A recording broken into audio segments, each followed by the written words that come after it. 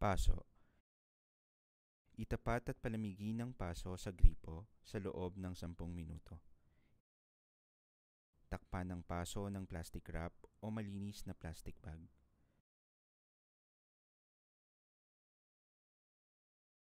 Tumawag agad sa 995 para sa ambulansya kung ang biktima ay bata o kung malala ang pagkakapaso.